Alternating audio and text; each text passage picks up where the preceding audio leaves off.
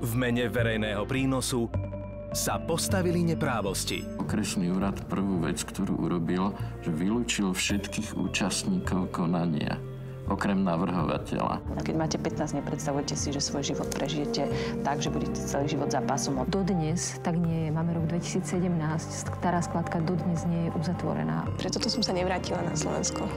Príbehy osobností ocenených za občianskú statočnosť v novej dokumentárnej sérii RTVS Biele vrany, Pezínská skládka.